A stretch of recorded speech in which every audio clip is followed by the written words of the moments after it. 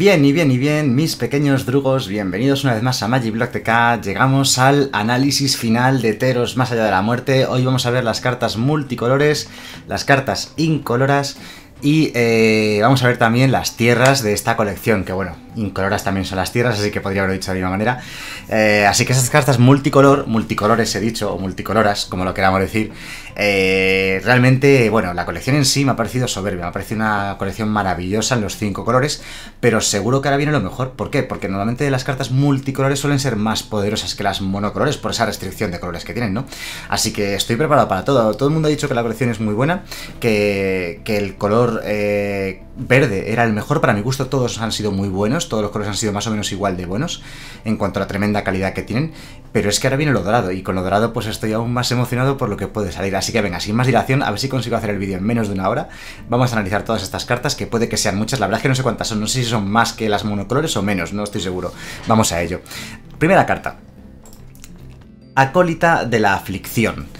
Dice que por 4 es un 2-3, es clérigo y es humano, es infrecuente, bien, que cuando entra al campo de batalla pone las dos primeras cartas de tu biblioteca en tu cementerio y puedes regresar una carta de permanente de tu cementerio a tu mano, la que sea.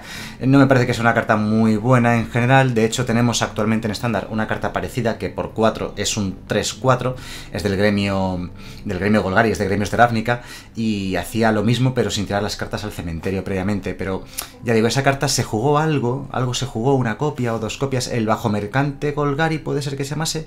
Creo que era Bajo Mercante Golgari. Y lo que pasa es que era doble verde, doble negro, un poco más complicado de jugar. Esto tiene un coste de mana menos enrevesado, más fácil de jugar, pero aún así, tiene menos stats, o sea, son 2-3 nada más.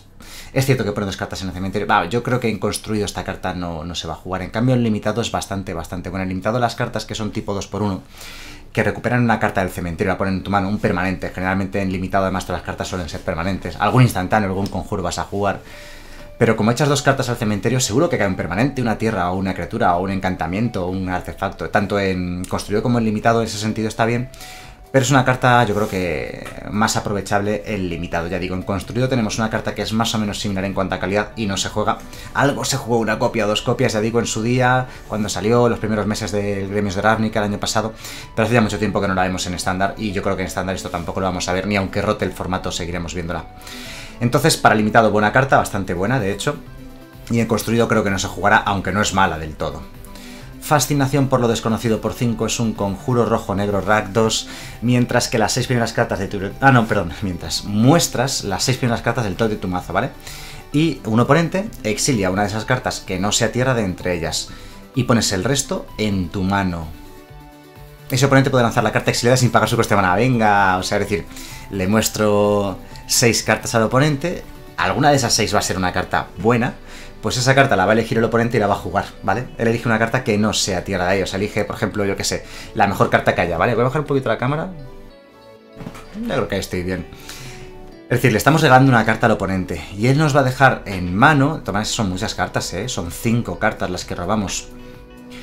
Imaginad que salen cinco tierras y una carta buena. El oponente la puede jugar y además pagando el mana sin pagar su coste de mana. O sea, es decir, imaginad que hay un Enracul, ¿vale? Me va a volver al loco, ¿vale? Imaginad que hay un Enracul.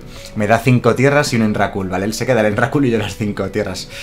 Es una carta de todas maneras, aún así, en general no va a ocurrir eso, ¿vale? En general va a haber, pues, dos o tres tierras. Pongamos que hay dos tierras de medio. Va a haber dos tierras y cuatro cartas eh, que no son tierra entre ellas. Él se va a quedar una de esas cuatro cartas, así que nos van a dar dos tierras y tres cartas que no son tierra a nosotros, pero él va a poder jugar el mejor de sus hechizos, se lo va a quedar y lo va a poder jugar gratis, ¿de acuerdo? Es mucha ventaja hacia él. Yo creo que es una carta de estas eh, recíprocas o una carta asimétrica que da ventaja a los dos jugadores. Hombre, obviamente te da mucha más, ventaja a ti que vas a robar cinco cartas, que se dice pronto, pero te va a dar cinco cartas por cinco de mana. Y está muy bien. Joder, es que es una carta de estas peligrosas. Al final no se acabará jugando. ¿Por qué? Por la varianza que mete. En muchas ocasiones le va a dar al oponente tanta ventaja, esa carta gratis extra que le vas a dar y a ti te va a dejar la morralla, que, que, sí, muchas veces no, muchas veces te va a merecer mucho la pena. Él coge una, va a coger una buena carta, pero tú tienes cinco cartas adicionales por 5 de mana. Pero ya veis como al final en estándar se acaba no jugando esta carta. En limitado, en limitado tres cuartos de lo mismo. Yo creo que es una carta que habrá que probar y al final, ¿sabéis lo que va a pasar? Va a pasar eso que os digo. Que yo creo que no se acabará jugando por esa peligrosidad que mete a la partida, que lo mismo te da la victoria por esa ventaja de cartas bestia o lo mismo te da la derrota automáticamente. De hecho, girarte completamente en el quinto turno para hacer un hechizo de coste 5 que no tiene impacto en mesa, es cierto que te da mucha ventaja de cartas, pero sin impacto en mesa en construido suele ser malo. Sobre todo teniendo en cuenta que el oponente va a poder jugar ese hechizo gratis más le das turno, su propio turno, quinto turno. Entonces, em, en construido creo que es realmente. Creo que no es muy buena.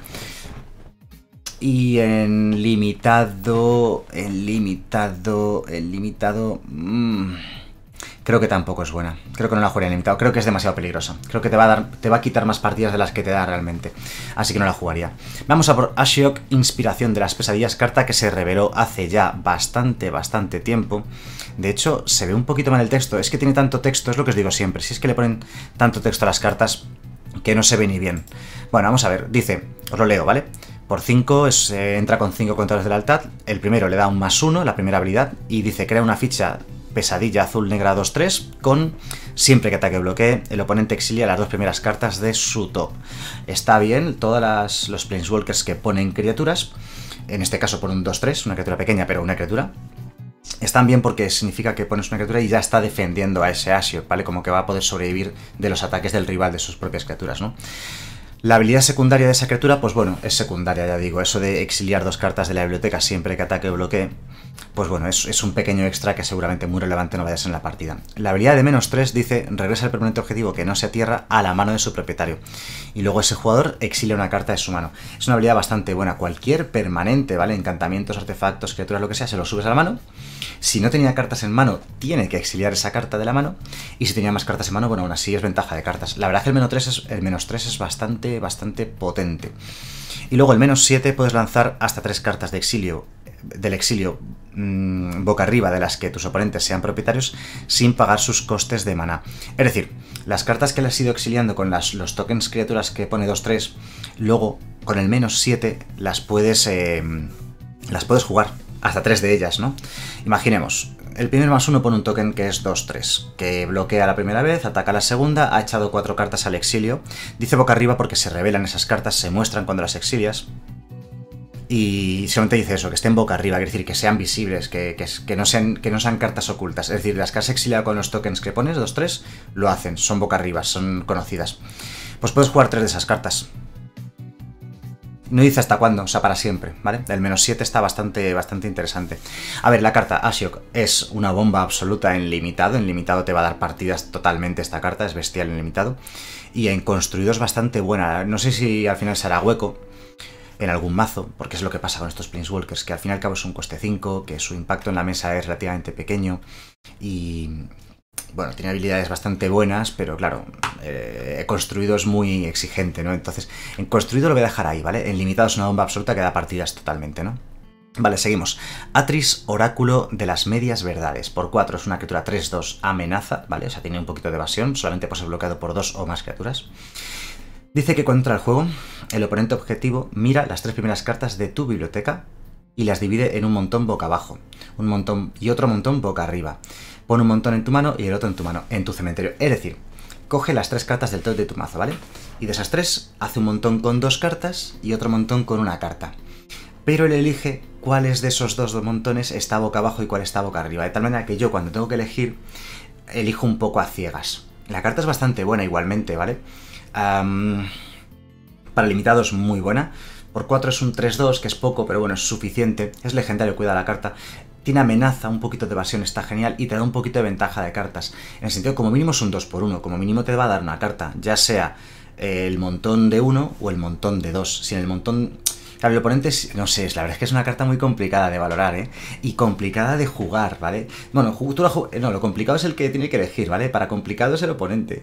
Eh, la carta es buena para limitado, en cualquier caso, ya digo, la ventaja de cartas es un 2x1 como mínimo, puede ser un 3x1 si eliges el montón de dos cartas, sean las que sean, aunque sean dos tierras, te da igual.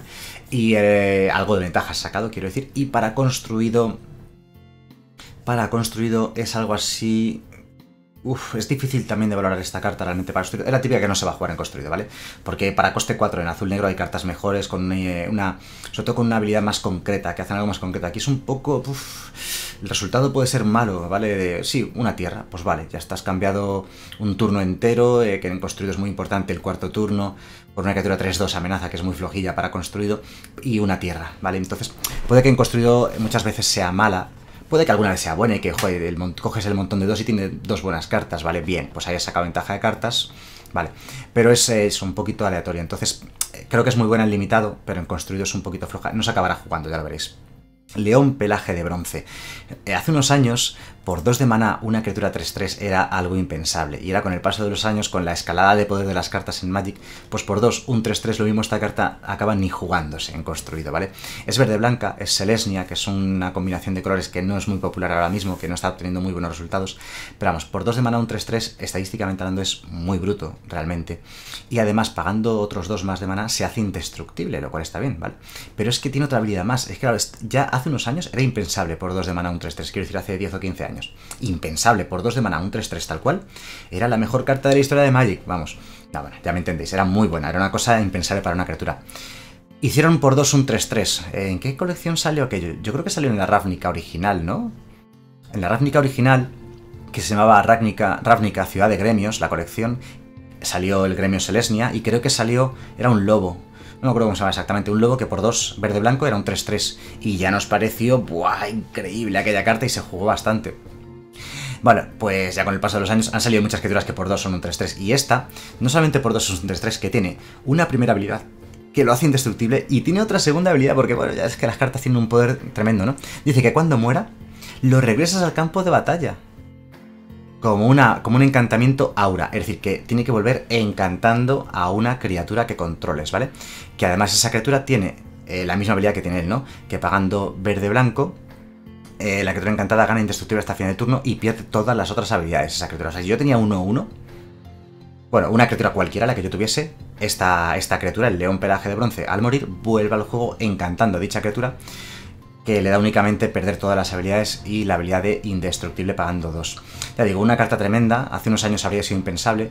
Veremos si esto en estándar se llega a jugar porque, eh, ya digo, es que precisamente los colores celestes verde blancos no son precisamente los más populares en estándar actualmente, pero desde luego es una carta muy buena y que es muy posible que la hayamos jugar en algún mazo agresivo si es un mazo agresivo en esta combinación de colores. O incluso si metemos un tercer color con rojo, rojo, verde, blanco, Naya, Naya siempre ha sido una combinación de colores muy agresiva podríamos llegar a ver esta carta. Pero vamos, en principio ya digo, lo mismo, ni se acaba jugando esta carta jamás en estándar. En construido, si vas a esta combinación de colores, perfecto. Muy buena carta, por 2 un 3-3, que además hace indestructible, que cuando muere hace algo. Perfecta, o sea, para limitado es una muy buena carta, pero claro, requiere que estés jugando verde-blanco. Así que ya digo, en construido lo mismo ni se juega y el limitado está bastante bien, pero claro, solo para esa combinación de colores. Calix, la mano del destino, por 4, entra con 4 contadores de lealtad, es eh, un Planeswalker mítico, legendario. Y vamos a ver, la habilidad del más uno dice, mira las cuatro primeras cartas de tu biblioteca y puedes mostrar un encantamiento de ahí y ponerlo en tu mano. Y el resto al fondo de la biblioteca. Vale, o sea, para un mazo de encantamientos te busca encantamientos con el más uno. No es muy importante porque llevar muchos encantamientos no suele ser bueno, entonces, y, o, llevas pocos encantamientos, así que el más uno no es muy bueno ni para limitado ni para construido. Bueno, en este formato que hay tantas, tantos encantamientos en limitado, es un poquito mejor. El menos 3 dice, exilia la criatura o encantamiento objetivo que no controlas hasta que el encantamiento objetivo que controlas deje el campo de batalla. Hasta que el encantamiento objetivo, o sea, tienes que hacer objetivo, o sea, es decir, es que es obligatorio, ¿no? Tienes que hacer objetivo a un encantamiento tuyo. Sí, tienes que hacer objetivo a un encantamiento tuyo y si ese encantamiento en algún momento deja el, deja el juego, la criatura del oponente o encantamiento del oponente que has exiliado eh, vuelve al juego. Entonces me parece bastante malo el menos 3. No es que sea malo, o sea, es bueno el menos 3, ¿de acuerdo? Pero para un Planeswalker tú siempre esperas algo más. O sea, el más 1 te puede dar un encantamiento, que puede que muestres 4 encantamientos y has perdido ese turno, has perdido ese más 1. El menos 3 puede exiliar una criatura de encantamiento, pero necesitas tener un encantamiento en juego, porque si no, no funciona. Y además, si te quitan ese encantamiento en algún momento, vuelve su criatura de encantamiento. O sea, tampoco es muy bueno. Y el menos 7 regresa todas las cartas de encantamiento de tu cementerio al campo de batalla. El menos 7 es muy bruto, pero claro, para llegar hasta 7 cuesta bastante. Me parece que el Calix este es bastante malo en construido, ¿vale? Y en limitado... En limitado lo jugaría. En limitado, en limitado... Pues en limitado casi seguro que sí lo jugaría, pero en un mazo que llevase bastantes encantamientos. Si mi mazo no lleva bastantes encantamientos, no jugaría el Calix, la mano del destino, ni siquiera en mi mazo de limitado. Venga, seguimos. Dalakos, creador de maravillas. Por 3 es una criatura 2-4, es legendaria, es artífice tritón y dice que da dos manás incoloros, que solamente puedes usar para lanzar artefactos o activar habilidades de artefacto. Vale, o sea que si hay artefactos buenos en estándar, esta criatura azul-roja iría bien en ese mazo de artefactos. Y además, las criaturas equipadas que controlas tienen la habilidad de volar y prisa. Vale, es obvio que tiene sinergias con muchas cartas... Opa, que tiene sinergia con muchas cartas de artefactos que hay en estándar actualmente y que podría entrar en un mazo de artefactos. Pero esos mazos artefactos siempre son complicados. Da volar y prisa a todas estas criaturas equipadas, lo cual también es algo un poco secundario. Todo el mundo estará pensando en Filoascua, ¿verdad? Filoascua con volar y con prisa, pues mola bastante. Eh, pero claro, este bicho por sí mismo, por 3 es un 2-4 que da maná, pero claro, da 2 de maná, pero solo para artefactos o para activar artefactos, equipos o cosas por el estilo. Vale, es una carta que en limitado, en cuanto tengas algún artefacto, o algún equipo es bastante buena, ¿vale? La llevaría. Si no tuviese ni artefactos ni, ni equipos, pues lógicamente por 3, un 2-4 no hay ninguna razón para llevarlo. Seguramente el limitado a lo mejor ni entra en el mazo, ¿de acuerdo? Aunque las estadísticas no son malas del todo, sería una criatura de relleno si no tuviese artefactos ni equipos en mi... Bueno, todos los equipos son artefactos, si no tuviese artefactos en mi mazo. Y en construido en un mazo de artefactos podría llegar a ver juego, pero lo más probable es que esta es la típica carta que queda en el olvido y que jamás se juega. Siguiente carta, Débora Recuerdos. Por 2 es un 2-1, azul-negro, o sea, Dimir, ese tipo de criatura pesadilla, y dice, siempre que una o más cartas vayan a tu cementerio, desde tu biblioteca, obtiene más uno más uno hasta fin de turno y no puede ser bloqueado este turno. Es una pena que solo sea eh, durante tu, o sea, hasta final del turno, que no sea un contador más uno más uno. Se hace imbloqueable fácilmente, pero hay que tirar cartas del mazo al cementerio hay bastantes cartas que hacen eso en estándar, ¿de acuerdo? Pero aún así no sé si es razón suficiente para jugar esta carta, ¿no? A ver, por 3, pon la primera carta de tu biblioteca en tu cementerio. Ah, vale, pagando 3 se hace a sí mismo imbloqueable y gana más 1 más 1, ¿vale? Automáticamente, porque pones una carta del top de tu mazo en el cementerio. O sea, él por sí mismo ya lo hace. Vale, en limitado esta carta es bastante buena. En limitado por 2 es un 2-1, bien, rellenas la curva pero tiene una habilidad de imbloqueabilidad, aunque sea pagando 3, aunque sea caro, gana más 1 más 1, eh, o sea, pega de 3, pagando 3, imbloqueable, está bastante bien, ¿de acuerdo? Me recuerda un poco, había una tierra, eh, ¿de qué colección era aquella tierra? No me acuerdo del nombre, es claro, como no juego Modern, no me acuerdo del nombre, pero había una tierra que pagando 3 se activaba y era un 3-2 imbloqueable también. Em, y era me recuerda un poco a esto, ¿vale? La carta es buena, entonces. Em, es buena, es buena para limitado. Y para construido... Que además habrá ocasiones en las que tiras cartas de tu biblioteca al cementerio directamente sin tener que pagar 3 con esto, ¿vale? Y lo has hecho gratis o lo que sea y puedes atacar con un 3-2 sin más, ¿no? Y además, puede ganar más uno más uno varias veces. Si van, por ejemplo, dos cartas al cementerio de golpe, gana más uno más uno. Pero si van otras dos más, pues gana otro más uno más uno. O sea, si pagas 6, gana más uno más uno dos veces. O sea que no está mal, ¿vale? Es por cada vez que vayan cartas a tu cementerio, ¿no? Desde tu mazo, por cada vez que vayan cartas, una o más. Vale, perfecto. Entonces ya digo, para limitados bastante, bastante buena carta. Va a ganar muchas partidas esta carta. Y en construido... En construido, sinceramente... Mm, es que en construido no es tan mala, pero no creo que se vaya a jugar, ¿vale? Porque requiere un mazo muy específico, muy concreto. Y además, ¿para qué quieres...? O sea, ¿dónde encaja esta, esta carta en un mazo de cementerio, no? Es cierto que podría... Pero es que pega de dos o de tres, tampoco tampoco es para tanto, ¿no? para construir. Para construir no creo que se juegue, pero el limitado es bastante buena. Surcadora de sueños, por 6 de maná es un 3-5 vuela vínculo vital. Solo por 6 de maná, un 3-5 vuela vínculo vital ya sería jugable en limitado, que lo sepáis. Esta carta ya en limitado va a ser una bomba casi seguro. Y en construido de momento no. No es suficiente por 6 un 3-5 vuela vínculo vital. Así que leamos las otras 3 habilidades que tiene. Ojo, esto es una bestia buscada. Esto tiene 5 habilidades este bicho. Primera habilidad. Siempre que robes una carta, gana más 1 más 0. O sea que todos los turnos, como robas carta de turno, va a pegar de 4. Vale, ya está más interesante. En limitado ya es una bomba total, ¿vale? En construido sigue sin ser jugable, aunque esté bien. Ojo, en construido es más fácil robar cartas extra en un turno, robar 2, 3 cartas y que gane más 2, más 3. Aún así no sería jugable por solo por eso, ¿vale? Siempre que ataque, robas una carta, ¿vale? Ahora ya sí. En construidos es un 5 estrellas, ¿de acuerdo? Porque cada vez que atacas vas a robar una carta extra. En, digo, en limitado es un 5 estrellas, perdón, quería decir. En limitado son 5 estrellas ya con estas primeras partes del texto y todavía no he leído la última. Y en construido En construido el problema es que es muy lento. Por coste 5, coste 6, coste 4, tienes Planeswalkers que dan mucha ventaja de cartas, que ganan la partida ellos solos, ¿vale? Coste 4, coste 5, 6. Es que esto es un coste 6. Es mucho coste, pero lo veo. Lo veo en un mazo de control. O sea, pensad en Gatwick. Gatwick, pagando 6, robas automáticamente, automáticamente 3 cartas, pones un 3-3 en mesa. Pero es que esto es mucho mejor. Vuela, vínculo vital, gana más uno más 0 cada vez que robas carta. Uf.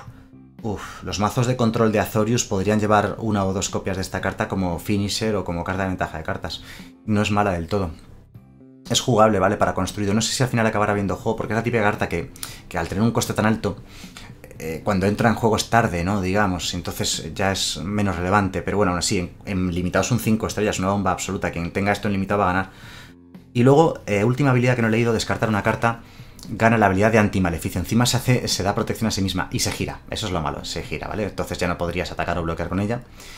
Pero aún así, el hacerla antimaleficio, que no puedas hacerla objetivo ni con hechizos ni con habilidades del oponente, la convierte en un absoluto 5 estrellas en limitado y muy buena en construido. Creo que en construido se va a jugar, tiene muy buenas habilidades.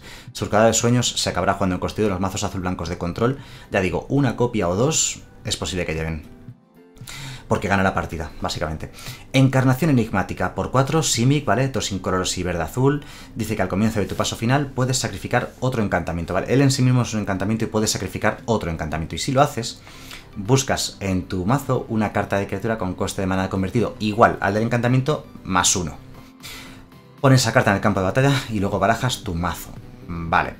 Vamos a ver, esta carta huele a, a mazo de combo y tal, mazo de encantamientos, pero claro, Ojo, también busca criaturas encantamiento y también puedes sacrificar criaturas encantamiento, o sea que puede retroalimentarse con habilidades con criaturas con habilidad de entrar en juego. Al final del turno lo va a hacer por primera vez, ¿de acuerdo? O sea, este, tú lo juegas este turno y si ya tenías otro encantamiento este turno, pues ya vas a poder sacrificar ese encantamiento y buscarte una criatura lo suyo sería buscar cosas que sea un mazo con habilidades de entrar en juego. Vale, la carta me gusta y creo que se va a jugar. Creo que es posible que si hay un mazo de encantamientos eh, en estándar sea un poco en torno a encarnación enigmática, otras criaturas encantamiento y otras criaturas con buenas habilidades de entrar en juego. Eso del más uno, con el coste más uno, creo que le da mucho juego al asunto. Se va a jugar, esta carta va a ser muy buena, creo que va a haber un mazo con esto. Creo que va a ser bueno en el mazo de encantamientos. Creo que es una de las cartas que le da viabilidad al mazo de encantamientos en construido, ¿vale? Y el limitado, el limitado es más delicada, ¿vale? Porque el limitado no solamente requiere que tengas encantamientos en juego, sino que requiere que tengas algún, eh, alguna em, criatura en el mazo con un coste igual más uno a ese encantamiento sacrificado, porque tiene que tener exactamente ese coste, ¿vale? Entonces llega un punto en el cual a lo mejor fallas y tal, ¿no? Entonces la veo un poco peor en limitado. En limitado la querría jugar sí, pero en un mazo ya con muchos encantamientos y muchas criaturas de encantamiento para asegurarme de que le saco partida y con una buena curva de maná, que tenga criaturas de coste 1, 2, 3, 4, 5, 6, que sean criatura y que pueda buscarme con este encantamiento. No lo veo malo para limitado, lo veo que requiere un mazo un poco más orientado a encantamientos, y en construido creo que se puede construir un mazo en torno a él bueno, creo. Ya lo veremos. Eutropia, la doble favorita. Por 3, un 2-2, es criatura legendaria, es hechicero y es humano, y tiene la habilidad de constelación, que es cuando entra un encantamiento en juego, hace algo. Y este lo que hace es pones un contador más uno más uno sobre una criatura objetivo. Y esa criatura además gana volar. Normalmente, cada turno que juegues un encantamiento, esto gana un contador más uno esto o cualquier otra criatura y volar. Volar es hasta el final del turno, ¿vale? Pero el contador más uno más uno se queda. O sea que es muy probable porque si construyes un mazo con esta carta es porque llevas muchos encantamientos, por ejemplo, porque llevas encarnación enigmática. es muy probable que esta criatura, por ejemplo, sin ir más lejos, gane más uno más uno o sea, sea un 3-3 que vuela ese turno, en el cuarto turno. Eh, otra criatura que tú tengas. Vale, la criatura, la carta es buena, es buena. O sea, para limitado es muy buena. De hecho, en limitado es buenísima. en limitado es muy buena. Es una razón para jugar Simic en limitado. Más uno, más uno y volar a una criatura tuya cada vez que un encantamiento. Con la cantidad de encantamientos que hay, es muy útil. En limitado es muy buena. Y como digo, jugadla, ¿vale? Si tenéis ese acceso a sus colores. Y en construido, construido es un poco peor, ¿vale? En construido es un poco peor, un poco bastante peor. Pero en el mazo de encantamientos podría funcionar. Qué pena que Eutropia no sea encantamiento. Si esta criatura fuese encantamiento en sí misma, molaría muchísimo más. Porque podrías jugar una segunda Eutropia y se dispararía su habilidad. Con encarnación enigmática podría molar. Bueno, ya digo que en el mazo de... Si, bueno, no sé, ya veremos. Ya digo, para construido creo que es bastante más floja. Le falta ser criatura de encantamiento para, para realmente ser muy buena. Pero no es mala del todo. No creo que se juegue, ¿eh? No creo que se juegue en construido nunca. Galia de la Danza Infinita. Por 2 es un 2-2, es una criatura legendaria, es sátiro, es, tiene prisa. Es una... ¡Oh! Va a haber mazo de sátiros. ¡Oh! Ya estoy deseando jugar el mazo de sátiros. Ya estoy deseando jugar el mazo de sátiros. Gana más uno más uno. Todos tus sátiros ganan más uno más uno y prisa, ¿vale? O sea, muy bueno para un mazo de sátiros. Hay bastantes sátiros en esta colección y hay alguno que es bueno, así que, ojo, mazo de sátiros incoming. Siempre que ataques con tres o más criaturas, puedes eh, descartar una carta al azar. Y si lo haces, robas dos cartas. Vale. Si no tienes cartas en mano, no puedes descartar una carta, ¿vale? Entonces no podrías robar dos cartas. Pero si te queda una única tierra, una montaña que ya no quieres, atacas con tres o más criaturas, descartas esa tierra y robas dos cartas. Está bastante muy buena esta carta. Es legendaria. Es legendaria, una, una pequeña pega que tiene.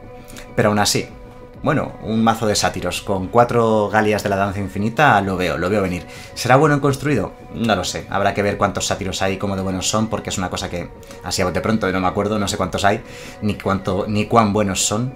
Pero podría. Desde luego lo vamos a intentar, ¿vale? O sea, en construido va a ser jugable esta carta. Dependerá de los buenos. de los sátiros que haya alrededor de ella, ¿no?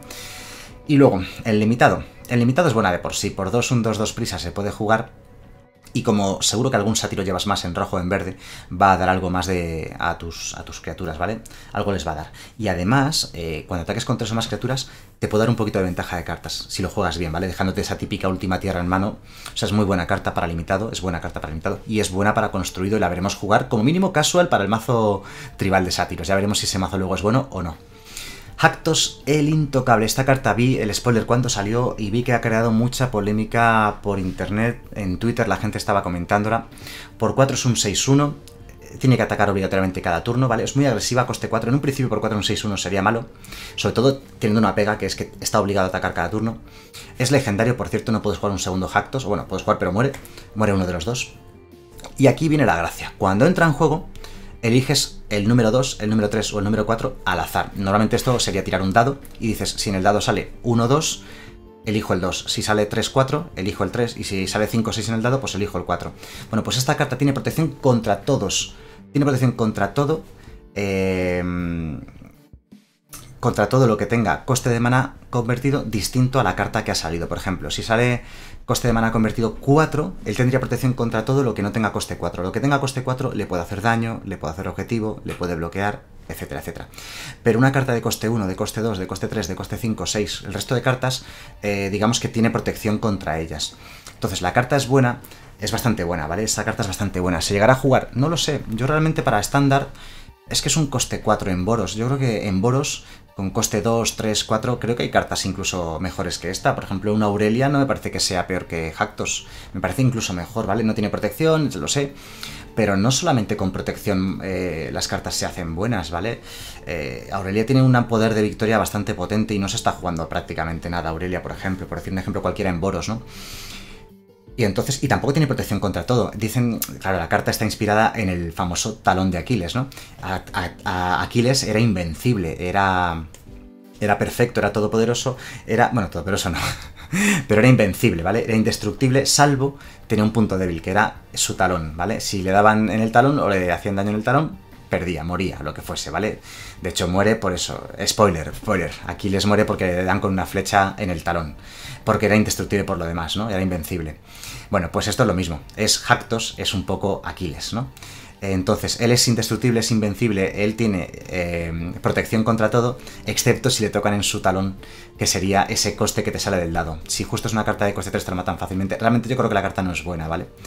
Creo que no es buena porque tiene un coste alto, aguanta muy poco, se le puede matar de muchas maneras, ¿vale? Una ira de calla lo mata igualmente, un bramido del carnarium lo mata igualmente.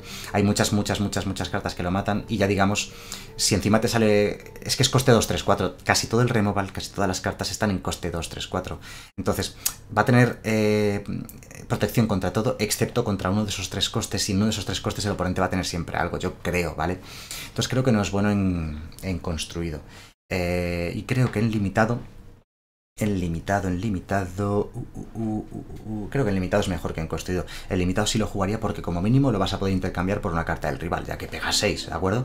Como mínimo. Y si el oponente no tiene justo nada del coste que ha salido 2, 3, 4, es una carta bastante molesta en juego. El primer turno va a hacer un bloqueo siendo, siendo protección contra esos costes, excepto el que haya salido, y va a hacer un buen bloqueo y luego ya a partir de va a empezar a atacar de forma casi ineludible para el oponente. Creo que en limitado es bueno, lo jugaría seguro en limitado, pero en construido yo creo que no va a encontrar mazo. Ya lo veréis cuando al final no se juega. Por mucha posibilidad que tenga de ser bueno y tal, creo que al final no se va a jugar. Héroe de los nativos de Nyx. Por 3 es un 2-2, otra... Es criatura encantamiento, ¿vale? Por cierto, importante. Por cierto, en el dibujo, quien juega League of Legends sabe que es, Pantheon, ¿vale? Hay un personaje de League of Legends que es exactamente igual que él, pero ya no digáis, no, pero hombre, se ve que eso es, es, un soldado griego, todos tienen ese aspecto. No, no, no es que sea un soldado griego, es que Pantheon lleva exactamente esa misma armadura. Igual, el mismo casco, un escudo es Pantheon, ¿vale? Bueno, no lleva lanza, porque Pantheon lleva lanza, pero el soldado de detrás sí que lleva lanza. Vale, diréis, no, pero es que Pantheon, lógicamente, el personaje de League of Legends está inspirado en los eh, guerreros griegos o soldados griegos, son las hazañas heroicas, como pone ahí en, el texto de ambientación. Vale, sí, tienes razón. Pero vamos, yo lo veo, un friki lo lee, lo ve y dice, ah, mira, Pantheon, ¿vale? Eso me refiero. Bueno, pues cuando el héroe de los nativos de Nyx entra al campo de batalla, creas un token 1-1. Bien. Y luego, siempre que un hechizo hace objetivo al héroe de los nativos de Nyx, las criaturas que controlas obtienen más 1 más 0. O sea que por 3 pones dos criaturas en juego, un 2-2 y un 1-1. Y luego si le haces objetivo con un hechizo, todas tus criaturas ganan más o más 0. Creo que es una buena carta en limitado, porque un 2 por 1 en limitado siempre es bueno. Ese encantamiento es algo que juega a su favor. te va a dar sinergias con otras cartas, está guay. Pero en construido creo que no. Creo que he construido el mazo de, de pluma que es un mazo de hacer objetivo a tus propias criaturas, creo que tiene cartas mejores que esta, ¿vale? Y por 3 son 2-2 al fin y al cabo, aunque pongas un 1-1. Pero en limitado es bueno, en limitado sí que lo... Si tengo un mazo Boros, obviamente esta carta la jugaré e intentaré incluso construir algo en torno a ella para poder hacer objetivo a mis criaturas, ¿no? Bueno, en concreto al héroe. Vale, vamos a por Clotis, el dios Grul. Ojo, porque solamente cuesta 3. Que un dios cueste 3 lo hace muy peligroso. Claro, los dioses eh, de dos colores, los dioses monocolores querían, pedían devoción 5. Este pide devoción 7 porque te vale tanto la roja como la verde y es más fácil de, juntar la devoción. Él por sí mismo ya aporta 2 de devoción además, ¿no? Así que exige devoción 7 al menos para que sea criatura, ¿vale? Bueno, pues por 3, un 4-5 indestructible sería muy tocho. El problema es que devoción 7 no cuentes con ella, va a ser muy difícil conseguirla en general.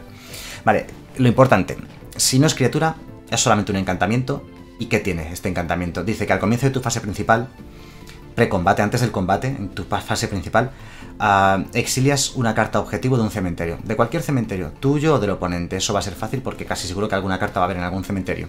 Si lo haces... Ah, no, si era una carta de tierra, te da mana rojo o mana verde, ¿vale? O sea que te da mana extra, ¿vale? Si es una tierra. Con Fetchlands va a funcionar mucho mejor, o con pasajes encantados, ¿no? Por ejemplo, en estándar.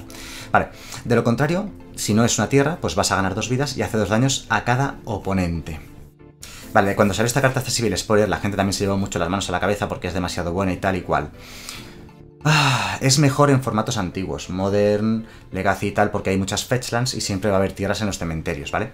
En estándar, en estándar normalmente no va a haber tierras en los cementerios. Puede que haya una vez o dos por partida una tierra en un cementerio y puedas exiliarla, precisamente por el pasaje de leyenda. Estás un poco obligado tú mismo a llevar pasaje de leyenda para poder sacar ese mana rojo, ese mana verde extra en estándar, ¿vale?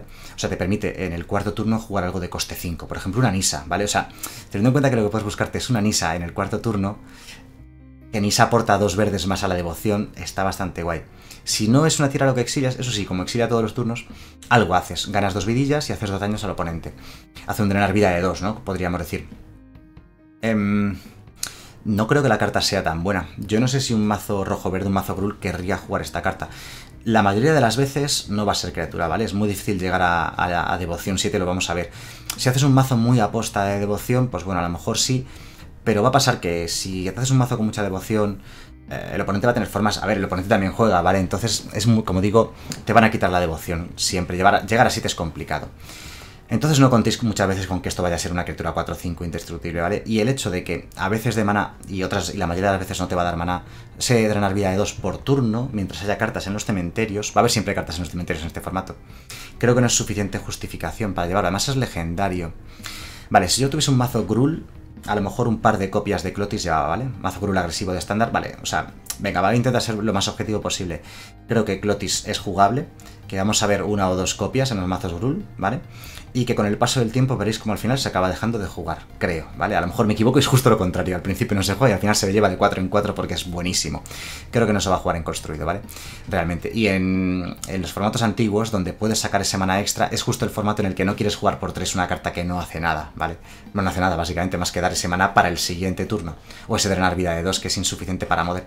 Entonces yo creo que es una carta, creo, que, en que al final en construido se acabará no jugando, ¿vale? Que no es buena para construido, creo. Me estoy aquí tirando un poco a la piscina, pero bueno. Quien quiera dar su opinión de, de- de las colecciones y de las cartas nuevas antes de que salgan, tirándose a la piscina y jugándosela, que ahí se haga su canal de Magic y hace sus vídeos y lo cuenta y da su opinión, ¿vale? Aquí soy yo el que se arriesga soy yo el que se tira a la piscina. Yo creo que Clotis no se va a jugar. ¿Que me equivoco? Pues me equivoco, no pasa nada, nos echamos unas risas y ya está. Y que no se juega, pues mira, he acertado, ¿vale? Yo creo que no se va a jugar. En limitado. En limitado creo que es peor que en construido incluso. Y creo que es malo. Yo creo que en limitado, salvo que tuviese un mazo Grul, que yo estuviese muy seguro de que voy a poner, poner muchos permanentes en juego y voy a tener mucha devoción, no jugaría esta carta.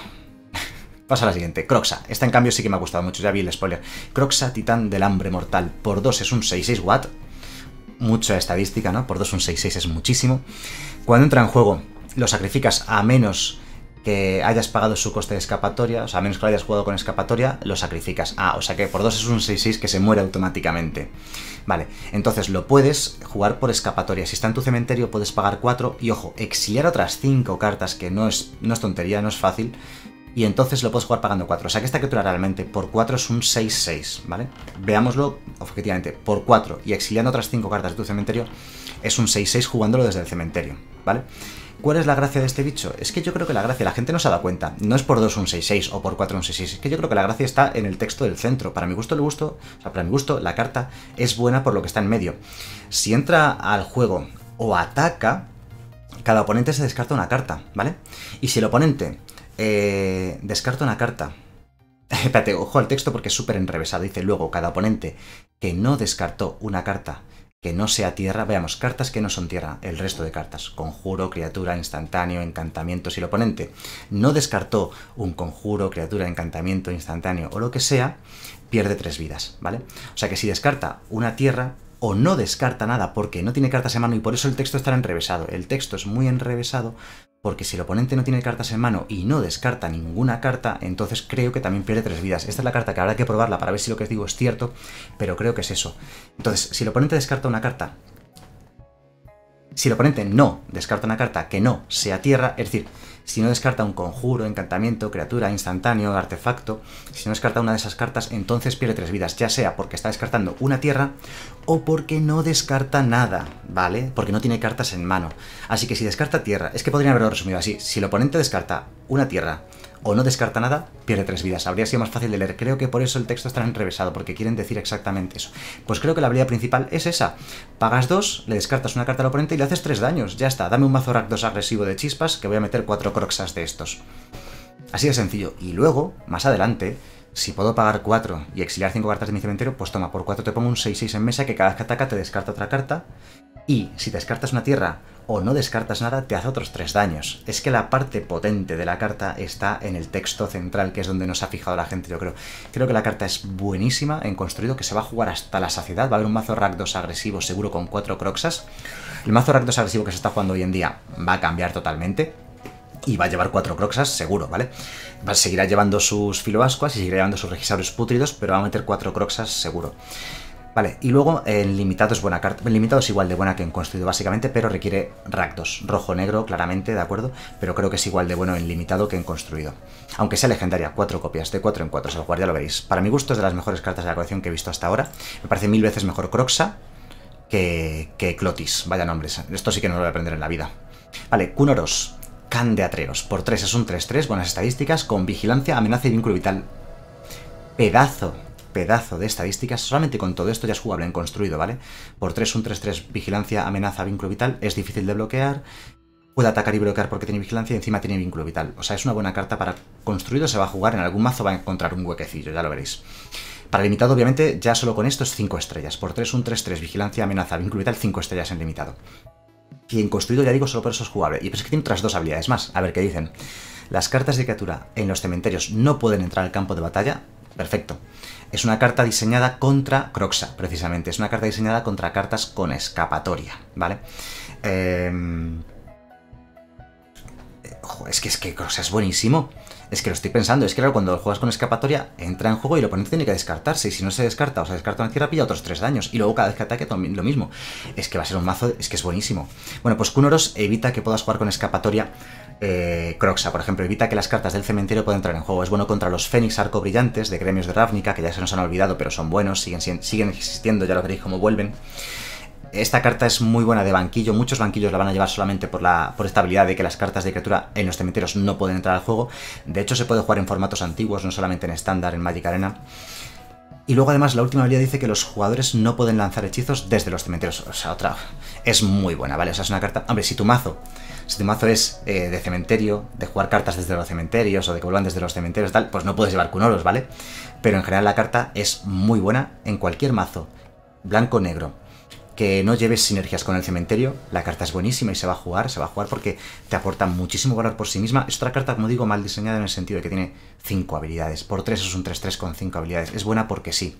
Y no me gusta eso en los diseños. Cartas buenas, porque sí, no me gustan. Es buena porque tiene mil habilidades buenas, ya está, ¿no? Como la bestia buscada. Es buscarlo fácil, ¿no? Digamos, esperamos, yo digo, esta carta se va a jugar fijo 100% en construido. Algún mazo va, va, a querer jugarla seguro de base y otros muchos de banquillo. Eh, es que va a ser necesaria, ¿vale? Va a ser necesaria para que controle este estándar. Va a ser buenísima esta carta, de las mejores cartas de la colección también. Y en limitados 5 estrellas. Me encanta, me encanta la carta. La quiero jugar ya. De hecho, de hecho ya, lo vais a ver. Venga, sigo leyendo, que me voy por las ramas. Quimera atraviesa por 2 es un 2-2 vuela, ¿vale? Rojo-azul, ya hay unas cuantas criaturas con más o menos esta misma, eh, estas mismas habilidades. Y dice que siempre que lances tu primer hechizo durante el turno del oponente, hace un punto de daño a cada oponente y adivinas uno. Vale, en limitado es muy buena, por 2 un 2-2 buena, en limitado está bien, que además va a poder hacer algún daño extra alguna vez y hacer adivinar uno, está bien, pero al final para construido creo que no. Actualmente en estándar creo que tenemos por 2, 2-2 vuela prisa, ¿vale? Que creo que es mejor que esto. ¿Vale? Eh, y además es, elemental la criatura a la que me estoy refiriendo, tiene más sinergia con cosas. Esto es una quimera. Si hubiese sido elemental, ojo. Pero al ser quimera, ojo, es criatura de encantamiento, lo cual es un pequeño extra. Pero vamos, en limitado es muy buena, creo que se va a jugar bastante en limitado y hay que tener cuidado con ella. Pensad que hay una voladora muy buena por ahí en rojo-azul. Y luego en construido, creo que no se va a llegar a jugar, salvo que por ser encantamiento algún mazo diga, ah, pues venga, como es encantamiento, es un mazo de encantamientos, pues esta quimera atraviesaba, guay, por 2 un 2 2 vuela, con una pequeñita habilidad extra y que además es encantamiento, pero no creo que se llegue a jugar, ya digo. Vale, Polúcranos desencadenado. Esta es otra de las cartas que ya me he visto el spoiler de las que más se ha hablado. Vamos a ver. Es que otra legendaria es una hidra zombie. Por 4 de maná entra al juego con 6 contadores más 1 más 1, ¿vale? Pero si la juegas con escapatoria, entra con 12 contadores más 1 más 1, ¿vale? La escapatoria cuesta 6, o sea que por 4 es un 6-6, o por 6 es un 12-12. Vale, la carta es ya solo por eso. Es 5 estrellas en limitado, porque gana partidas ella sola, y además la puedes jugar con escapatoria. Bueno, hay que pagar 6 y exiliar 6 cartas del cementerio, ¿vale? Pero es factible, es una cosa que ocurrirá. Sobre todo ya en el turno 6, 7, 8, 9 va a ocurrir y vas a llevar algo en el mazo para poder tirar cartas al cementerio. Vas a poder hacerlo al menos una vez, ¿vale? Una vez en todas las partidas vas a poder hacerlo. Vale, el caso, sigo leyendo. Si fuera a recibir daño, mientras tiene contadores más uno más uno sobre él, previenes todo el daño, ¿vale?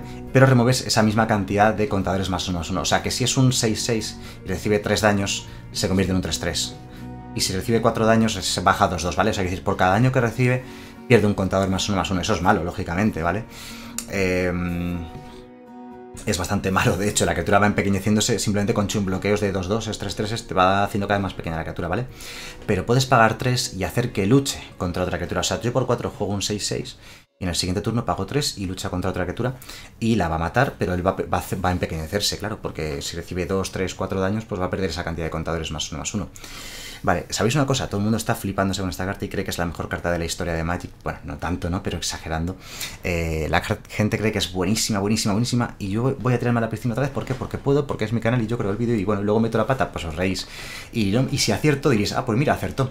Creo que esta carta al final no se va a jugar, ¿vale? Porque en el gremio Golgari, o sea, en esta combinación de colores, mejor dicho, en la combinación de colores negra-verde Golgari, em, creo que hay cartas similares, de una calidad similar, y que ni siquiera se están jugando algunas de ellas. Y es que, ¿qué va a pasar con tu 6-6x4? Pues que te lo van a matar, te lo van a exiliar según toque mesa. O sea, no digo que sea malo, se puede llevar una copia o dos en un mazo Golgari, ¿vale? Creo que sí, una o dos copias se va a jugar. No digo que no se vaya a jugar nada, pero que tampoco es tan bueno. Creo que algún mazo Golgari, que tampoco hay tantos, va. Los Golgari de aventuras, pero es que precisamente, es que es lo que digo, es que en el Golgari de aventuras quieres jugar esto Sí, pues en lugar de Rankel te puedes meter este bicho, pero es mejor este bicho que Rankel. No estoy yo tan seguro de que esto sea mejor que una Rankel, ¿vale? La Rankel es un 3-3 prisa vuela con tres habilidades que puedes elegir cuando hace daño de combate, ¿no? Buenas. Entonces, yo no veo que esto sea sencillamente muy superior a un Rankel, ¿de acuerdo? En cuanto a removal, en cuanto a agresividad o agresión o lo que sea. En limitado es brutal, ¿vale? Sí que es cierto, en limitado es una locura, porque en limitado vas a poder matar una o dos criaturas de primeras con tu 6-6. Ya digo, atacar es que el objetivo es matar criaturas con esto. La vas a poder eh, jugar con escapatoria al menos una vez seguro en limitado y vas a poder seguir matando más criaturas. O sea, en limitado son 5 estrellas, es una bomba absoluta y gana partidas ella sola. En construido creo que es un poquito más floja de lo que la gente está pensando. Cuesta 7, digamos, hacer la primera lucha y además eh, va a perder esa cantidad de contadores más uno más uno cuando luche se va a quedar en una birria. Vale, entonces tampoco es que sea una locura de carta, es buena, pero vamos, te la van a matar, exiliar, subir a la mano. es que el ladronzuelo atrevido. De hecho, puedes hacer pagar tres para que luche, te la suben a la mano y adiós, ya no ha luchado. Y encima has perdido el turno entero, ¿no? Así que la carta no es tan buena, ¿vale? Hay muchas formas de, ya digo, de, evitarla y tal, ¿no? No es tan buena. Ya digo que en construido creo que se va a dar como mucho una o dos copias en los mazos Golgari, que no hay muchas opciones en mazos Golgari, ya digo, porque la mayoría son de aventuras y quieren jugar aventuras, no esto. Y en Golgaris agresivos, ya digo, hay cartas que son mejores que esta en Golgaris agresivos, o similares, quiero decir, en cuanto al nivel de, poder o calidad. Así que mi apuesta es que la gente al principio la va a intentar jugar una o dos copias, o quizás alguna más en algún mazo, y a largo plazo no se va a jugar, ya lo veréis, ya lo veréis como al final se acaban jugando esta carta. Aquí la gente tirándose de los pelos. Yo me tiré mucho de los pelos y mirad cómo me quedé, así que os recomiendo tiraros mucho, no tiraros mucho de los pelos. Ascenso a la Gloria. Por 5, un conjuro blanco-negro Orzop que dice elige uno o ambos. Vale, puedes hacer una o las dos cosas. Regresa la carta de criatura objetivo de tu cementerio al juego. O regresa la aura objetivo de tu cementerio al juego. Es 2 por 1 En un mazo de encantamientos mola, ¿vale? Em, a ver, quería leer esto. Las cartas de criatura en los cementerios no pueden entrar al campo de batalla. Un oros, por ejemplo, anula el ascenso a la gloria, ¿vale? Por poner un ejemplo, simplemente para que veáis lo que hacía. Eh, con criaturas, ¿vale? El aura sí puede volver al juego, pero la criatura no. A ver, ascenso a la gloria, me parece que es buena carta, ¿eh? Creo que se va a jugar... Bueno, a ver, miento. Se va a jugar en el mazo de encantamientos Orthop, si es que hay un mazo de encantamientos suficientemente bueno, pues sí, porque es un Reanimator, es una carta Reanimate doble. Devuelve criatura, es que solamente por eso, por 5 devolver una criatura del cementerio al juego hay que tenerla en cuenta para mazos de reanimate, de devolver criaturas al juego. Pero es que además devuelve dos cartas, criatura y encantamiento. Y hay encantamientos auras bastante buenos que dan prisa, rollar, dañar dos veces, yo qué sé. es decir, puedes buscar un combo fácilmente, eh, fácilmente con una criatura muy grande que le dé, y con un aura que dé dañar dos veces, por ejemplo, y ganas de un ataque, ¿de acuerdo? O que deprisa o arrollar, ya me entendéis. Creo que Ascenso a la Gloria es bastante buena carta. En limitado es mejor todavía, porque en limitado siempre vas a tener alguna criatura en el cementerio y en este metajuego seguro que alguna aura vas a tener también o vas a construir un mazo en torno a auras. Y en construido se va a jugar, lo vais a ver que va a haber un mazo de auras y encantamientos. ¿Va a ser bueno el mazo? No lo sé, sobra que verlo, ¿vale? Pero desde luego es jugable en el mazo de encantamientos, ¿de acuerdo? O sea, me explico. Polucranos es una carta mil veces mejor que Ascenso a la Gloria, porque Polucranos no depende de nada, por sí mismo es bueno, ¿vale? porque es un 6-6 o un 12-12 con una habilidad buena de luchar, ¿vale? Ascenso a la Gloria es peor carta, pero puede que a la larga se acabe jugando más Ascenso a la Gloria que Polucranos, ¿vale? Polucranos se jugará, ya digo, residualmente o ni se jugará. En cambio, Ascenso a la Gloria, si hay un mazo de encantamientos, de auras, bueno, con buenas criaturas que puedas reanimar o que quieras reanimar o te montas un mazo en torno a eso, a lo mejor al final acaba siendo una carta muy jugada en ese mazo en particular que os estoy diciendo. Puede que al final no se juegue nada si no encuentra ese mazo, pero la carta mola en sí. Y para limitado ya digo que es bastante buena. Como mínimo regresas una carta de criatura de un cementerio al campo de batalla, de tu cementerio, mejor dicho. Venga, siguiente carta. Siona, capitana del, del Pileas. Por 3 es un 2-2, es legendaria. Cuando entra al juego, miras las 7 cartas del top, que son muchísimas, y puedes mostrar un aura y ponerla en tu mano, y el resto en el fondo de la biblioteca en cualquier orden. Vale, siempre que un aura que controlas se anexe a una criatura que controlas, o sea, siempre que juegues una aura sobre una criatura, básicamente, creas un token 1-1 eh, de soldado humano. En limitado creo que es bastante buena, ¿vale? Porque en limitado en un mazo Selesnia vas a llevar encantamientos y vas a pillar siempre alguno. Mirando 7 cartas, joder, muy mala suerte sería que no pillases ningún encantamiento. Y si no, por 3 es un 2-2 que siempre que pones un aura sobre una criatura, pones un token 1-1. Creo que es jugable en un mazo de auras en limitado, ¿vale? Para construido. Para construido en el mazo de encantamientos, si es que existe verde-blanco, podría podría haber juego, pero vamos, lo más probable es que esta carta no se llegue a jugar nunca. Sacerdote de la masacre de Mojis por 2 es un 2-2. Me gustan este tipo de cartas Raktos por 2-2-2, que dice que siempre que sacrifiques un permanente gana más 2 más 0 hasta el final del turno. Con la carta roja, que vimos el otro día, que era una criatura que por 2 era 1-1, que siempre que sacrificabas un permanente ponía un contador más 1 más 1 sobre sí misma, y que además podía sacrificar criaturas para hacer un daño extra pagando 2 y girándola. Y esto y otras muchas cartas que hay de sacrificar, este bicho es que puede pegar. Es que solo con el gato y el horno pega de 6. O sea, es decir, horno, sacrifico mi gato, pongo un token de comida, devuelvo el gato sacrificando la comida, esto gana más 2 más 0 dos veces. Es un 6-2 por 2 en el tercer turno. Vale, pero es que además él mismo puede sacrificar criaturas o encantamientos. Pagas dos y sacrificas otra criatura que no sea él o un encantamiento y gana además dañar primero hasta el final del turno. ¡Wala! La carta es bastante buena, en, en limitado es bastante buena, puede pegar muchísimo y dañar primero la va a hacer muy difícil de bloquear en muchas ocasiones. Em, es más difícil sacrificar permanentes en limitado o construir un mazo de sacrificar, pero en limitado es buena, seguro que se va a jugar mucho. Y en construido, en el mazo Rack 2 de sacrificar, me parece una burrada. Por cierto, una cosa. El Croxa, cuando dice sacrificarlo, ¿verdad? Vale. Cuando Croxa entra al campo de batalla, sacrifícalo. A menos que haya escapado. Es decir, que juego sacerdote en el segundo turno, ¿de acuerdo? Y en el tercer turno juego un Croxa, el oponente se descarta de una carta que si no es tierra o no se descarta carta recibe 3 daños y esto gana más 2 más 0 automáticamente y pega de 4, ¿vale? A modo de ejemplo. O sea que esta carta va a ser muy buena en construido y se va a jugar seguro. Perspicacia asombrosa, blanco-azul, Azorius, un aura que le da más 1 más 1 y vínculo vital a una criatura. Y además, siempre que hace daño a un jugador, robas una carta. ¿What? Esta carta es muy buena. Es una curiosidad obsesiva es una curiosa obsesiva por un mana más. Pero es una curiosa obsesiva. Vuelve la Azorius Flyers. Sí, sí, sí. Eh, vale, que cuesta dos, ¿de acuerdo? La curiosa obsesiva solamente costaba uno azul, ¿vale? Pero esto daba vital también. Y estamos en un metajuego, en eh, una colección de encantamientos. Va a ser factible sacarle partido a esta carta. Primero, al ser un aura, da devoción, tengámoslo en cuenta. Da dos de devoción azul-blanco. Azul o blanco, mejor dicho. Eh, luego, por otro lado, tiene vínculo vital, es un extra que no tenía la curiosidad obsesiva. Siempre que la criatura hace daño de combate a un jugador, robas una carta. Vale. daño de combate, ¿vale? No vale cualquier otro tipo de daño que hagas a un jugador. No es una curiosidad obsesiva, es un pelín peor que una curiosidad obsesiva, ¿vale? Pero facilita o posibilita que el mazo mono blue tempo de curiosidad obsesiva, pues bueno, le metes splash a blanco, que de hecho ya existe el mazo de voladoras azul blanco, y le metes las perspicacias de las perspicacias asombrosas, ventaja de cartas, va a llevar cuatro copias. Le metes unos poquitos más de counters, bueno, habría que cambiar mucho el mazo Azurius Flights, pero ojo la carta, perspicacia asombrosa, es una carta que se va a jugar en construido 100% seguro en mazos de voladoras. Y ya hay mazos de voladoras que son dignos, son buenos mazos de voladoras. Hay gente que ha llegado a mítico con mazos de voladoras. Aquí en el canal lo hemos demostrado, lo hemos visto. Además, lo buena que es el mazo, lo hemos jugado, hemos hecho una serie para ese mazo. Y esto lo hace un poquito, lo hace un poquito mejor el mazo, yo creo. También habrá que cambiarlo, ¿vale? Para meter cartas de protección, para que no te maten la criatura y te hagan dos por uno, habrá que meter counters, cartas de protección. Pero sigue siendo bueno, ¿vale? Se va a jugar seguro. Y el limitado también es bueno, yo creo más uno más uno vínculo vital y robas carta hace daño. Sobre todo si tienes alguna criatura con evasión, volar o algo así, que es muy fácil en la combinación azul-blanca. Es buena en limitado, es muy buena en construido, se jugará, ya veréis. Uro, titán de la ira de la naturaleza. Por 3 es un 6-6, empezamos bien. Es criatura legendaria, gigante y anciano. Y dice que cuando entra al campo de batalla lo sacrificas. A menos que lo hayas pagado por escapar. Con la escapatoria, mejor dicho. Vale, vamos a mirar la parte escapatoria. Por 4 y exiliando otras 5 cartas es un coste bastante alto, es un 6-6.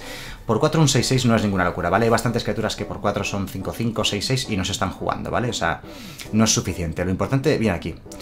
Siempre que entre al juego o ataque, ganas 3 vidas y robas una carta, ¿vale? O sea, si lo juego por 3 y muere, da igual porque lo he jugado, gano 3 vidas, o sea, por 3 gano 3 y robo una carta. Está bien, muchos mazos de control, midrange, tal, van a querer jugar esta carta solamente porque por esa ventaja o ese turno no es un turno perdido del todo, ganas 3 vidas, robas una carta y además, luego puedes poner en el campo de batalla una carta de tierra de tu mano. ¡Hala! No había visto esta carta, es la primera vez que la leo. ¡Wala! Se va a jugar de 4 en 4 en muchos mazos. Los mazos Ramp, verde azul, Simic. Ya por eso a mucha gente me lo está poniendo en los comentarios. Se puede hacer una Simic Ramp muy buena con esta colección, es cierto. Esta es una de las razones, esta carta. O sea, es buenísima. Por 3, robas. O sea, ganas 3 vidas. Robas carta y después de haber robado la carta, si tienes una tierra en mano, la puedes poner en juego. Y además enderezada. ¿Vale? Eso por 3. Y eso cada vez que cada vez que lo juegas, o sea, cada vez que entra en juego, o cada vez que ataque, o sea, luego cuando lo juegas el siguiente turno pagando 4 y exiliando otras 5 cartas del cementerio, cuidado, es un 6-6, entra en juego, vuelves a hacer esa habilidad de ganar 3 vidas, robar carta y poder poner otra tierra, una tierra extra, y luego cada vez que ataque, oh, esta carta es buenísima. Obviamente, en limitado es 5 estrellas, en limitado es 5 estrellas, si, si, vas a Simic, si vas a verde azul, 5 estrellas, esta, partida esta carta gana la partida ya sola. Y, y en construido también es buenísima para la Simic Ram. Cuatro copias de esto en Simic Ram. Vale, última carta dorada y ya vamos a por los artefactos. Bueno, cartas incolores en general. No hay incoloras que no sean artefacto en esta colección. Guarda de los encantados. Por 3 es un 4-4 arroya, ¿vale? Empezamos bien. Y además dice que no puede atacar a menos que controles oh, otra criatura con fuerza de 4 o más. Creo que en construido no se va a jugar, ¿vale? De hecho, en construido tenemos actualmente ya una criatura que por 3 es un 4-4 arroya con una habilidad buena en lugar de mala, ¿de acuerdo? Se está jugando, ¿vale? Me refiero al rompechizos Grul. Creo que es mil veces mejor que... Bueno, no que crea, es que es mil veces mejor que esto. Porque además tienes incluso la posibilidad de jugarlo como 3-3 con prisa, ¿vale? El rompechizos Grul le da mil vueltas a esta carta. Sin embargo, podría haber un mazo Grul muy, muy agresivo, con muchas criaturas que peguen mucho, o con dopadores. Pues si tienes dopadores que se podría llegar a jugar esta carta, ¿vale? No es imposible que la llegamos a ver en un mazo de construido con cuatro rompechizos rule y con, cuarta, con cuatro guardas de los encadenados. Sin embargo, no creo que ocurra, al menos hasta la rotación. A lo mejor al año que viene, cuando rote el rompechizos rule, hace falta criaturas de destrucción en un mazo rule agresivo, ¿vale? Entonces, este año no creo que se vaya a jugar por eso. Rompechizos rule ocupa su misma posición y es sencillamente superior. Vale. Limitado. Bloquear puede bloquear, es una carta buena en limitado. Por 3 es un 4-4, ¿vale? Que puede bloquear. Y cuando controles una criatura de fuerza 4 más, podrá también atacar, arrollando. Entonces, en un entorno como este, que hay tantos eh, dopadores en forma de auras y criaturas grandes también hay bastantes que peguen 4, pues va a poder atacar, ¿vale? Así que sí, en limitado es buena carta, se va a jugar, y en construido creo que no, al menos este año seguro que no. Vale, vamos a ver los artefactos. Eh, dice, altar del panteón, la primera, coste 3. Tu devoción a cada color y a cada combinación de colores aumenta en 1. Vale, eso no es bueno. O sea, no es bueno porque al fin y al cabo estás jugando una carta que es incolora. Entonces, que te dé devoción 1 a cada uno de los colores es un poco como decir, vale, pues juego un incoloro para que me dé uno de devoción. Él por sí mismo no da ningún tipo de devoción por ser incoloro, pues lo compensa con esto. O sea que no es nada extra, no es nada del otro mundo. Y da maná de cualquier color, ¿vale? Si controlas una deidad un semidios o un encantamiento legendario, ganas una vida. O sea, es muy, muy residual esta habilidad. En construido no se va a jugar, no creo que esto se vaya a jugar en construido, demasiado malo. Y en limitado... Yo me aposto... Bueno, el limitado depende. Si el limitado de... Es que no lo sé, claro, el limitado de Teros, si es muy lento y va a criaturas grandes, altos costes, pues sí se jugará el altar del panteón porque al fin y al cabo da maná. Las cartas que dan maná limitado suelen ser buenas, pero las de coste 2, cuando llegamos ya a coste 3, son un poquito peores, ¿vale? Tiene una ventaja que da maná de cualquier color, puede que ganes una vida, pero esa vida es casi irrelevante o casi nunca la vas a ganar también. ¿Vale? Entonces, em, pero si el mazo, si el, perdón, si los mazos son muy rápidos, si el entorno de limitado de es muy rápido, esta carta no se acabará jugando. Espada de bronce, un equipo que por uno da más 2 más 0 y equipas por 3. Eh, creo que la primera vez que salieron los equipos, que fue en Mirrodin, año 2003, si no recuerdo mal, eh, fue cuando salieron los equipos por primera vez, ¿vale? Había un equipo que se llamaba Bone Splitter, si no recuerdo mal, y era igual que esto, pero se equipaba por dos. Esa carta nunca se ha llegado a jugar en construido, así que esto peor todavía, no se va a llegar a jugar en construido casi seguro, ¿de acuerdo? Y luego en limitado el limitado, salvo que tengas un mazo con muchas criaturas voladoras o con evasión, no lo vas a jugar tampoco, ¿de acuerdo? Así que es una carta que probablemente no la vemos nunca construido y en limitado va a depender un poco eso de, la cantidad de criaturas con evasión. Si llevas muchas voladoras, pues sí, te puedes meter la espada de bronce, si no, yo creo que no. Lira cautivadora. Por 3 puedes elegir no enderezarla, al principio de tu paso de enderezar. Y dice, eh, por X la giras y giras una criatura objetivo con fuerza X o menos que no se endereza nos endereza durante el paso de enderezar del oponente, mientras la lira cautivadora permanezca girada. Eh, no es mala carta para limitado, ¿vale? Porque, bueno, es un removal al fin y al cabo. Y para construido es demasiado lenta, demasiado costosa, no, no, es suficientemente buena para construido. Yo creo muy costoso, ¿vale? Pagar 3 y luego otros 2, 3 o 4 para girar una criatura de fuerza X o menos. Y además, si la criatura del oponente es muy grande, pues tampoco la vas a poder girar. Así que bueno, Nada, para es un cero, desde luego, ¿vale? Y para limitado sí la metería, seguramente en limitado le vas a sacar partido jugada en limitado.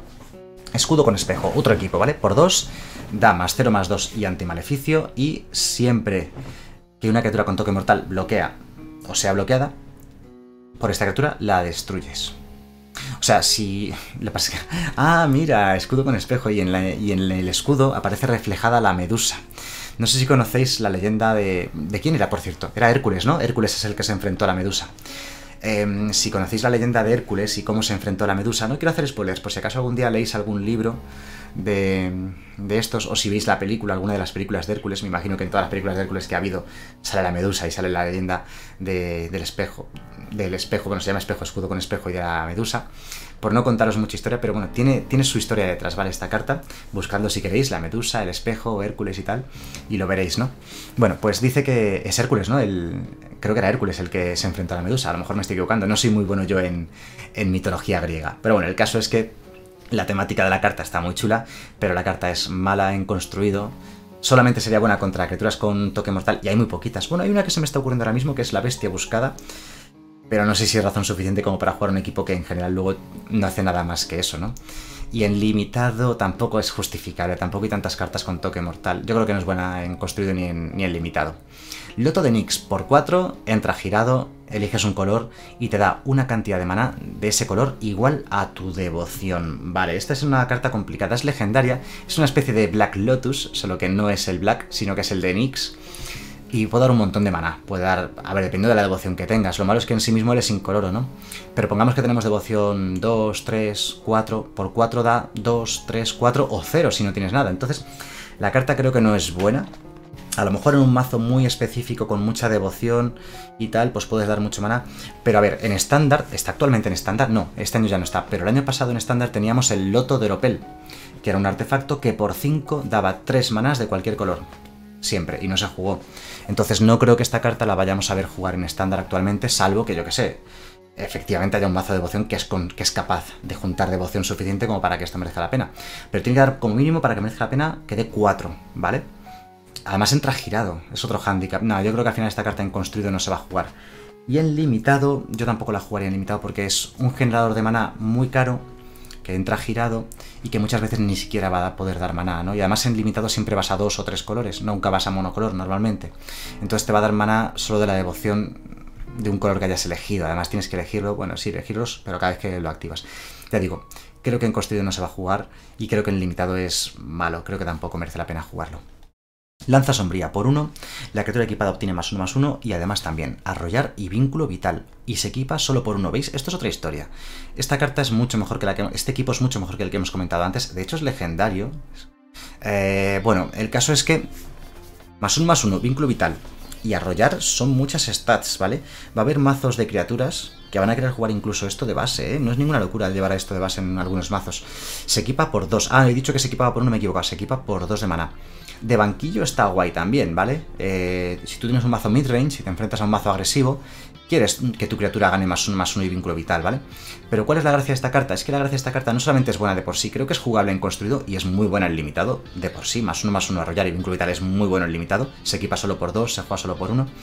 Pero es que además, la habilidad que tiene entre medias, que no la he leído, pagas un incoloro, mana de cualquier color, mejor dicho, y los permanentes de tus oponentes pierden antimaleficio e indestructible. Hay bastantes cartas, bueno, no hay, a ver, hay pocas cartas con antimaleficio, pero algunas hay.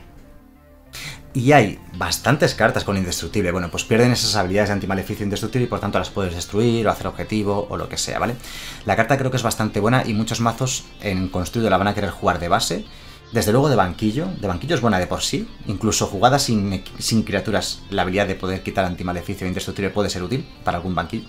Y en limitado es muy buena, en limitado se va a jugar bastante.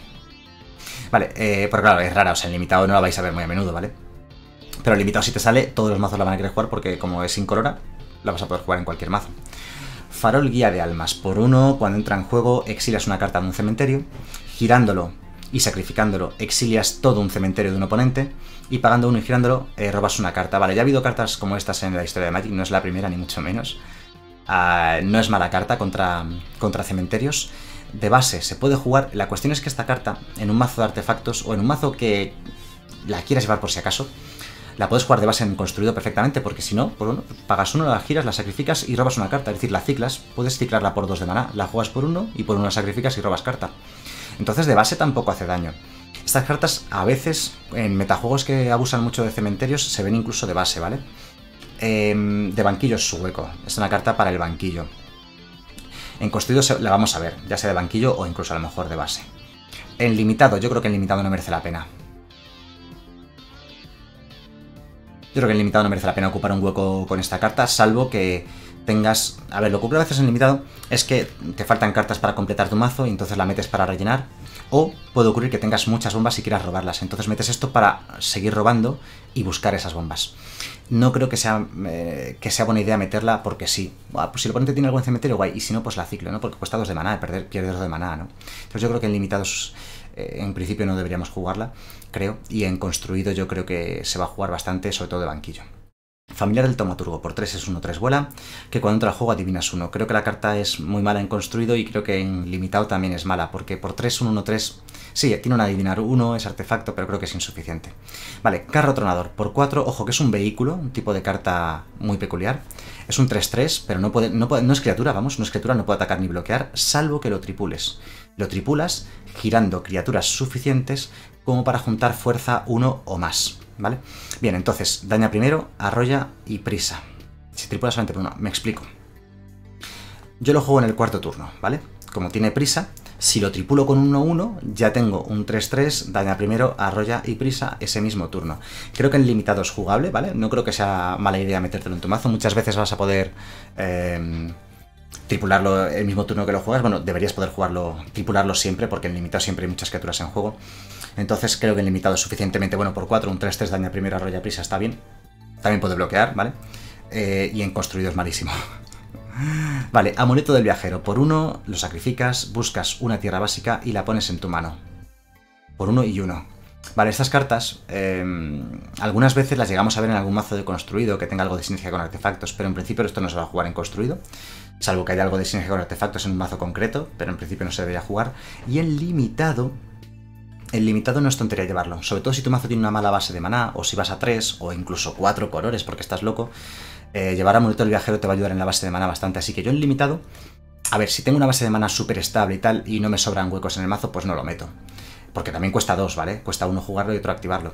Pero pero eh, si voy a un poquito a tres colores y me da un poquito de miedo mi base de maná, tengo algún hechizo de doble coste de color, pues me meto el amuleto del viajero encantado en limitado, ¿vale? Y en construir ya digo, yo no creo que se juegue. Alas de, las alas de la arrogancia por dos, un equipo que le da volar a la criatura, por cierto, se equipa por uno, y puedes sacrificar este equipo para que la criatura equipada no puede ser bloqueada este turno, sencillamente. Y la sacrificas al final de, del turno. Bueno, no creo que sea una carta jugable en construido. Es cierto que puede dar volar o incluso imbloqueable directamente, pero no es suficiente. O sea, hay cartas mejores que esta. Si quieres realmente necesitas dar volar o, imbloquear una criatura tuya, creo que hay cartas mejores que esta incluso. Y en limitado, creo que tampoco es bueno este equipo. Los equipos estos que dan volar porque sí, sin más habilidades, más extras, o imbloqueable incluso, no suelen ser buenos, ¿vale? Yo no creo que fuese a meter esta carta. Salvo que tengo un mazo de pinos. Si tengo un mazo verde, de estos verdes con 5, 5, 6, 6, es muchos y tal, unas alas de la arrogancia a lo mejor sí metía pues para darles esa habilidad de volar o esa habilidad imbloqueable para poder ganar una partida que parece imposible, ¿no? Vale, las tierras. Por cierto, las tierras han salido los cinco templos de colores opuestos. El templo del abandono, que es rojo-verde, el templo del engaño, que es azul-negro, el templo de la iluminación, que es blanco-azul, el templo de la malicia, que es rojo-negro, y el templo de la abundancia que es verde-blanco, ¿vale? Han salido los cinco combinaciones de templos que no habían salido todavía. Son tierras que están bien, se van a jugar mucho en estándar y en limitado también las vas a jugar, obviamente, si vas a estos dos colores, que, bueno, entran giradas, esa es la gran pega que tienen, lógicamente, pero adivinas uno y esa pequeña manipulación de biblioteca siempre es útil, ¿vale? Las comento así por encima porque ya las conocemos y no son nada del otro mundo. Campo de ruinas es una reedición que, por cierto, estaba el año pasado en estándar y vuelve ahora. Pagas dos, la sacrificas, bueno, la giras y la sacrificas y destruyes una tierra no básica que controle el oponente. Cada jugador, tanto tú como el oponente, os busquéis una tierra básica y la ponéis en juego. Esto sirve para matar tierras con buenas habilidades, ¿de acuerdo? O bueno, o tierras que den maná de varios colores y quieres evitar que tenga una tierra que dé maná de varios colores, ¿de acuerdo? Campo de ruina la vamos a ver jugar de base, la vamos a ver jugar de banquillo. En limitado no creo que merezca la pena llevarla. No, viendo las tierras que hay, yo creo que en limitado no la metáis, ¿vale? No va a merecer la pena en absoluto. Vale, eh, pero en construido es muy buena, se va a jugar de base y de, banquillo. Laberinto de Scofos. Eh, es una tierra que da mana incoloro, pero pagando 4 girándola, remueves del combate una criatura atacante o bloqueador objetivo. Vamos a ver, esta carta en limitado la vas a meter en tu mazo, seguro, ¿vale? La vas a meter porque tampoco te estorba demasiado y alguna vez vas a poder evitar que te ataque alguna criatura peligrosa del rival, ¿vale? Cuesta muchísimo, cuesta 4 más la tierra, son 5, es mucho. Pero si no tienes una base de mana muy exigente en cuanto a los colores, pues la metes y ya está, no va a pasar nada. En Construido no se va a jugar, en Construido es demasiado cara. O sea, salvo en una monocolor, que te da igual meter una tierra incolora que casi que no vas a hacer con ella nunca prácticamente nada. En construido no creo que se vaya a jugar, ¿vale? Jamás. Ni de banquillo siquiera. Vale, ¿qué más nos queda? Las cotas desconocidas y terminamos. Es una tierra que da incoloro o pagando uno agrega mana de cualquier color. Es una tierra filtradora de mana. En construido no se juega, esto no se va a jugar jamás en construido. Y en limitado, si tienes un mazo súper complicado, a 4 o 5 colores te puedes meter las costas desconocidas. Pero vamos, solamente en eso. Y luego aquí tenemos las tierras básicas que están chulísimas, las tierras básicas de... de de Teros, más allá de la muerte, que están guapísimas. Y ya digo, si las podéis conseguir en, Magic físico, en Magic real, en foil, son súper buenas. Son súper. Bueno, buenas no, son igual de buenas que todas las tierras básicas, pero son súper bonitas y van a valer dinero, ¿de acuerdo? Bueno, y aquí termina el análisis. Me lo he pasado genial haciendo este análisis. Creo que vosotros también, porque lo he ido leyendo en los comentarios. Es una colección espectacular, de las mejores colecciones que he visto jamás en mi vida. Creo que va a romper muchos formatos, porque hay muchas cartas muy buenas. Pero bueno, creo que van a ser daños controlables, ¿vale? O sea que no va a ser el fin de Magic. Eh, lo que veo es que va a haber mucha diversión, sobre todo mucha diversión y mucha pasión con esta colección. Wow, han sido seis días muy intensos, una hora por día, incluso más de una hora, hoy una hora diez, algún día ha sido un poquito menos, algún día un poquito más de una hora.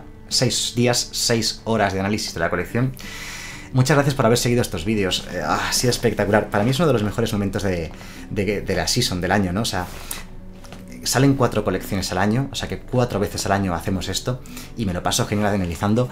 Sé que meto la pata mil veces, pero es que es inevitable, es que os lo juro. Son tantas cartas, todas nuevas que no conoces, leyendo tantos textos. A veces se ven un poco pequeños, a veces quieres ir rápido para que no se hagan vídeos muy largos. Y alguna vez meto la pata, o a veces analizo mal una carta, digo, esta carta es buena y luego es mala, o esta carta es mala y luego es buena. Pero ya lo que he dicho varias veces en este vídeo, yo soy el que hace el vídeo, yo soy el que se arriesga, se tira a la piscina analizando todo esto. Creo que en general algo aporto a la comunidad, ¿no? Así que bueno, lo que hago es daros las gracias por ver estos vídeos, por el apoyo al canal y por los comentarios, que también me vienen bien todos, porque muchas veces veo vuestros comentarios y digo, ah, mira, he leído mal esta carta, pues puede ocurrir. O mira, esta opinión que estás dando de que esta carta que parecía mala es buena, no lo había pensado y, tienes, respondo, mira, pues tiene razón, esta carta es buena, ¿no? Que sepáis que leo todos los comentarios, los leo todos, cada vez que leo un comentario le doy un tic, le doy un me gusta, ¿vale? Y así lo sabéis que lo he leído, ¿de acuerdo? Lo leo, le doy al me gusta, siempre. Si no lo leo, o sea, si, si, si no lo leo, no le doy al me gusta, ¿de acuerdo? Así que que sepáis que siempre leo los comentarios en cuanto veis que el clic del me gusta es que lo he leído. No respondo a todos porque ya responderlos ya llevaría 20, 30 segundos cada mensaje y sería imposible porque recibo, yo que sé, cuántos comentarios al día recibirá el, canal. Comentarios, eh, mensajes por redes sociales, correos electrónicos, no podría, no puedo responder a todo, ¿vale? Pero leerlo sí que lo leo todo, de momento. espero poder hacerlo así durante mucho más tiempo. Así que bueno, espero que hayáis disfrutado estos vídeos, me lo he pasado genial, han sido mucho trabajo, pero ha merecido la pena. Eh, y bueno, espero que os haya gustado y nos vemos en el siguiente vídeo. Hasta luego.